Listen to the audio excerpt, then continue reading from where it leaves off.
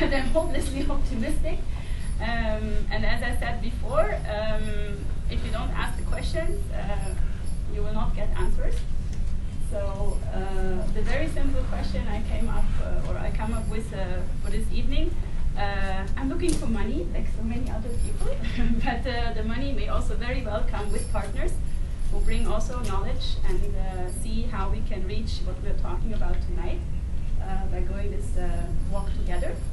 I definitely agree with what you said, uh, Charlotte, about walking your talk and integrity and not doing things alone and adapting and with humor, etc. And uh, I get this feedback, feedback often from the people I'm working with. Uh, they say like, yeah, I, I, Uli tells me things that are not nice, but then she's smiling at me. And she loves me. I just can't help it. I have to do that. So, uh, um, yeah. Um, so let me tell you what it is that uh, uh, I'm trying to do. Uh, I've been in Egypt now for for 13 years. Um, I got here because I happened to meet an Egyptian. I got married to him, um, so that's why I'm in Cairo. Um, about uh, five years, four years ago, um, I started feeling and being more outspoken about it. That there is a need for some space where you can meet other people, where you can work together in diversity, where you find temporary workspace when you are an entrepreneur setting up your own business. Um, but I didn't like, or I didn't feel comfortable in a space like these five-star places, hotels, uh, lounges of hotels, etc., where you always have to go like very neatly dressed and everything, and everybody is like, oh, I'm so important, and uh, there's this thing about minimizing the ego. We're in it for the greater good, I think. We have the earth to take care for. Uh, we need uh, some really, really innovative solutions to make sure that we can survive on this world. Um, so taking all these things together with the need of uh, having a small daughter that I was taking along with me all the time, and I didn't want to leave her in one nursery in this place and then uh, go to work somewhere else. Um, I felt that what we really needed in Cairo was a place in my neighborhood in Heliopolis where there's a space for children, uh, there's also a space to work, there's a space to meet. So I started talking about this um, when I went to a meeting of a, of a network called Pioneers of Change.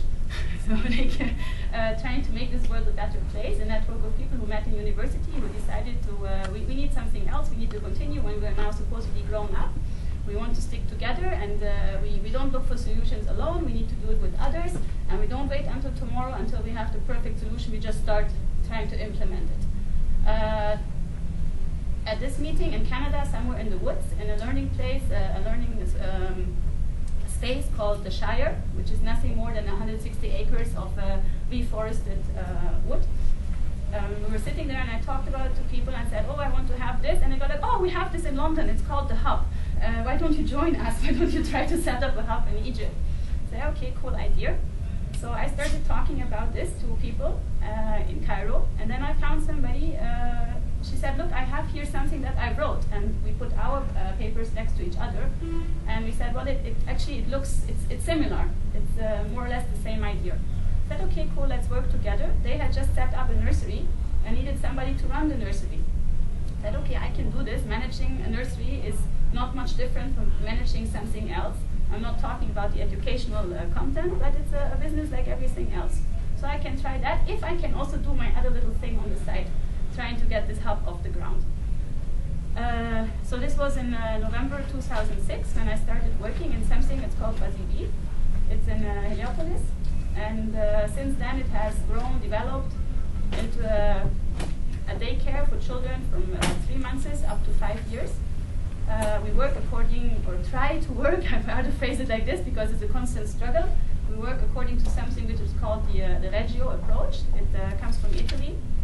Uh, the, the essence is of really trying to, to educate children, support them in their learning for life, how to express themselves, learn to speak in many, many languages. They call it the 100 languages of a child.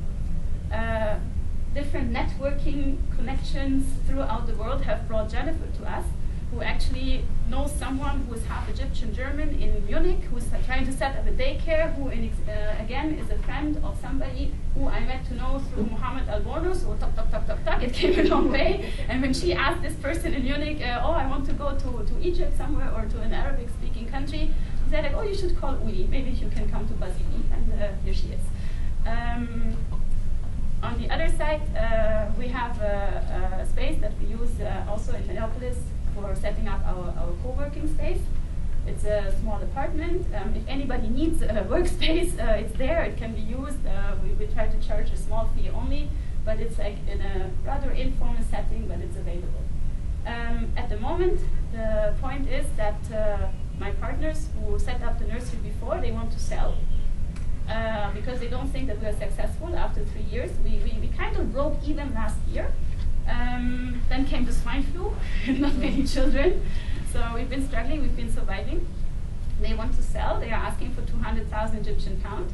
I have to pay 80,000 pound by the 1st of September, the rest in uh, installments.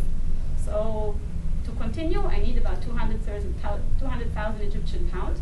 Uh, I have a tiny part of it for now, but uh, I'm looking for solutions how to how to solve this. Um, the part about the hub, what I'm really looking for, if anybody has that, that available, uh, a small or a bigger building in Heliopolis with an outside space where we could actually integrate the two things, the daycare together with the shared workspace and meeting spaces, etc. So um, this is we're, we're, working toward that. Uh, the hubs by now exist uh, around the world in different places. There's a couple of them in North America. There's one in Los Angeles starting up. San Francisco, Atlanta, um, Halifax has one. Toronto has the Center for Social Innovation.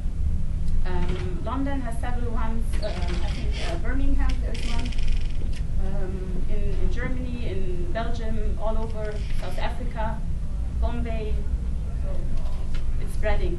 And all of these hubs have one thing in common, that it's not just about bringing any kind of people together, but it's about looking for people who really want to work in a sustainable way, who walk the talk, who are talking about social innovation, who want to work as social entrepreneurs.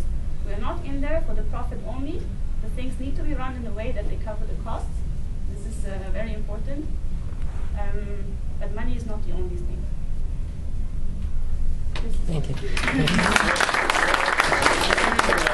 if you want include this in the discussion in, uh, in the group, yes, I would say.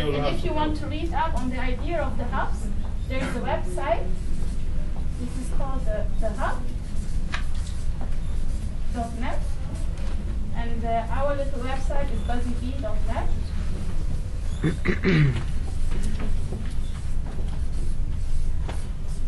um, yes. You have to show profit. Yes. I would love to. I don't feel like running the daycare and paying for other people's children. I really don't feel like yeah, this. But, it's really like a long term, and we are now in the fourth year. Uh, this is what I'm trying to explain to other partners that uh, uh, we're almost there. Yes. Yes. So, uh, um, well, we're discussing that, so uh, working on it. And uh, uh, maybe one little side information, the single biggest investor in the hub on a global level is the widow of uh, Anita Roddick, the founder of the Body Shop. And uh, it has a strong connection to the UK, but uh, uh, we are also trying to spread out all around the world. What, what that last is the name? sorry? The, the one that has a strong connection in the UK? the, the hub itself, it started in London, in Islington. This was the first one. And uh, the person who's like the single, the single biggest investor as a person is the, uh, uh, Mr. Roddick, the widow of uh, Anita Roddick of the Body Shop. He was the one who really thought that this is a good idea, and uh, um, we're facing big issues also on a global level at the moment because it's trying to combine so many different countries and cultures and everything, and, and fiscal systems and whatsoever. so it's a big struggle, but uh, on the global level, I think we are through it, and we are, we are going to survive.